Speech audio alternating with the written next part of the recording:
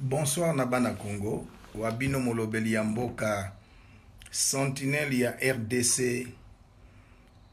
euh, le prophète King Elysée. Nouvelle babengi nga na Kinshasa. Congolais babengi nga na Kinshasa, bayebisi ngai ete basoldat bapanzi bango bisika nyonso babengi ngai bayebisi ngai ete bahélicoptère eza likolo internet ezongi na intercontinental internet ezongi na memling internet ezongi na ambassade ya france ya uk na états-unis moto abengi ngai aza ndeko aza na kati na baservice ndeko na ngai mpo na nini na minuit baproclame président Mpo na nini na moi te? Yango nayebisi bana Congo oyo baza libanda mboka lokola ngai, bobenga bandeko na bino bazala pre tozala ya kolamuka, tozala prepare. Congo eza ya biso nyonso. Congolais lamuka, Congolais telema,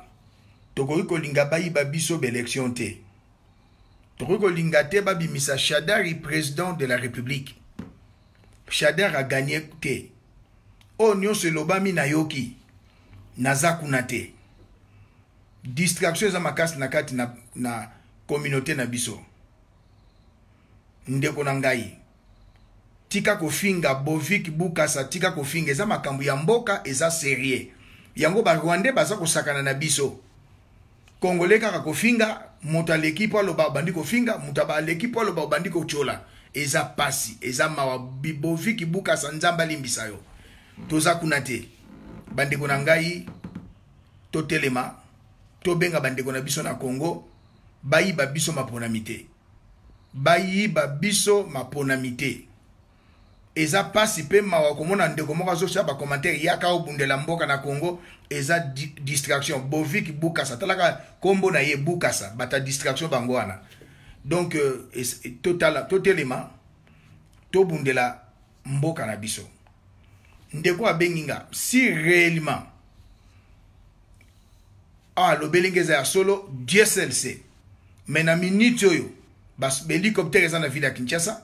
na minute oyo basoda bazali déploye partout na minute oyo debout congolais et sauvons le congo bokozala surpris très surpris kabila abimisi nanga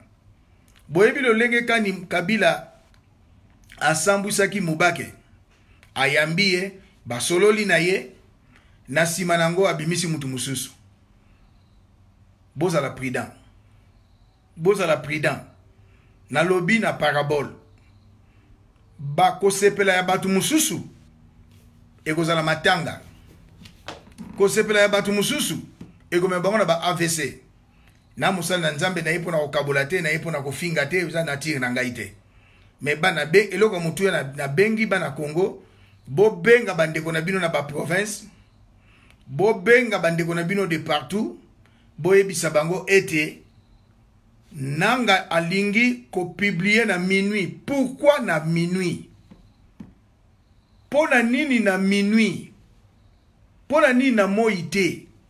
Debout congolais, sauvons le Congo. Na minute oyo bandeko na biso na kisasa bayebi eloko moko te. Bazali ya kolala. Tondima te babimisela biso Shadari president de la République. tala na neti baeglise de réveil toza na bachaîne ya télévision ya rtnc toza na badecoder ya rtnc badecoder awa ezolakisa rtnc babandi kotelemela senko soni kafuta kankenza tous les hommes de dieu boyebi na kisasa babandi koloba mabe ya senko baoyo lusha mosusu ezalaka babimisa l ya kabila bazali koloba mabe ya senko seke catholique ayebi ete senko aza na baresultat donc euh, tondima te tondima te tondima te shadari président un peuple se libère c'est maintenant ou jamais oyo ezalaki ndambo ya kokabola na bino yango wana si l'information est vraie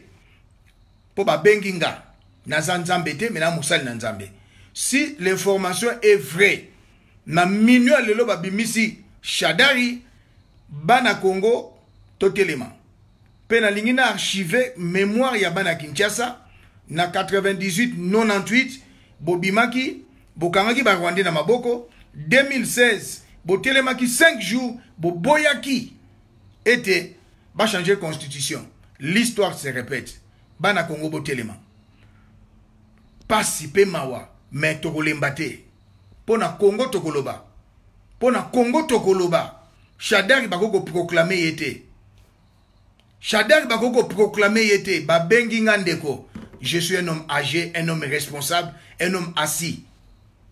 me navandi kaka bo nabana koloba bilobela nakosala yango te babengi ngai na kisasa bayebisi ngai na telefone yango ngai mpe naye nayebisa bino bandeko na ngai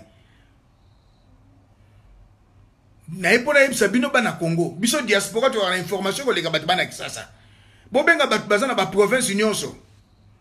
botelema botelema botelema na minua lelo shadari basali deja mise en place baso basala mpe na seni wana balingi ba, balingi na bango changement baso baza na kabila balingi changement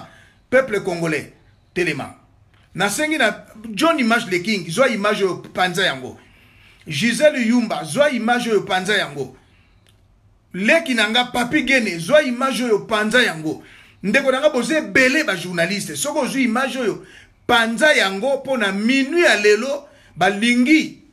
badeklare oyo bango babongisi mais biso toyebi ke shadari n'a pas gagné les élections shadari n'a pas gagné les élections balingi babimisa na nko point d'interrogation to balingi babimisa sikoyo nani mpo shadari a gagné baélection te c'est l'opposition qui a gagné les élections naza mosali na nzambe nasengi na bandeko na ngai totelema totelema debout congolais lokola archevêque coutumier alobaki sauvons le congo tangu zifweni diba dia kukumbana tangu ekoki sai inenea wa bino sentinelle ya rdc le prophète king elise molobeli ya mboka merci